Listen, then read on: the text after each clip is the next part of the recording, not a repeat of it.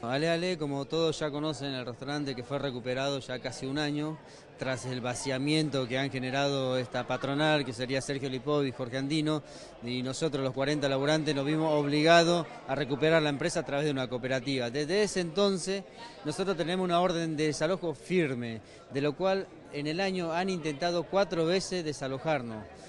Anoche a las 10 de la, a las 10 de la noche, cuando yo me doy cuenta que la federal está bajando la valla, es, era, era una reacción, la verdad que era, me, agarró una impotencia diciendo, ya está, hasta acá llegamos.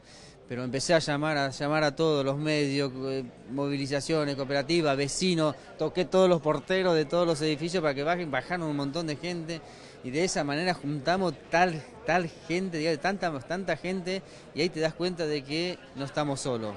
Y hoy mirando todos mis compañeros, más todas las empresas que vinieron a apoyarnos, los vecinos, los diputados, y ahí decís, wow, ¿no? Todo lo que se puede lograr y lo que venimos haciendo hasta ahora es demostrar que se puede. Por suerte, este, bueno, primó la racionalidad, momentáneamente entendemos, este, lo que necesitamos ahora es una, una, solución de fondo, como planteaban los trabajadores, como planteaba Andrés, el presidente de la cooperativa. Eh, necesitamos encontrar un canal de negociación este, eh, en el cual eh, tanto entendemos nosotros el juez tenga, revise, revise ¿no? Un poco la mirada acerca de los tiempos, los plazos, porque acá lo que se está pidiendo es tiempo. Eh, los empresarios también de alguna manera puedan aflojar un poco en su postura y, tengan un poco de contemplación respecto a lo que son los planteos de los trabajadores, son absolutamente criteriosos. Hay una postura casi irreductible del juzgado y de los dueños, que además están acusados de un vaciamiento y de una quiebra, una virtual quiebra fraudulenta. La verdad que es una situación muy irregular en el plano judicial.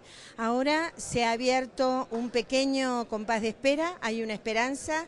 Eh, los vallados se retiraron eh, una orden judicial de no concretar hoy el desalojo, pero esto sigue amenazando la tranquilidad de las 40 familias que trabajan en Ale Ale. Ellos han podido desde el cooperativismo constituirse en un sector de servicios para la comunidad de la zona, la comunidad ha respondido.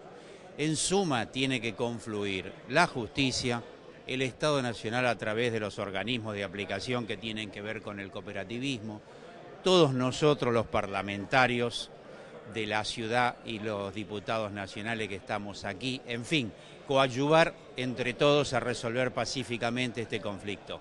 Cuando se organiza eh, y cuando se puede tratar de transmitir y cuando puede haber diálogo, y obvio que la política tiene que estar presente en esto, ¿no? porque eh, si hoy los actores políticos eh, tal vez no hubieran estado y solamente estaban los trabajadores, eh, hubiéramos visto esas imágenes que ya nos acostumbramos a ver, la policía reprimiendo y los desalojos. Eh, la metropolitana tiene que entender esto, el gobierno de la Ciudad de Buenos Aires tiene que entender esto, de que hoy el trabajo lo vamos a defender porque es una de las banderas de este gobierno nacional y por sobre todas las cosas porque le da dignidad al pueblo y a nuestros ciudadanos. ¿no?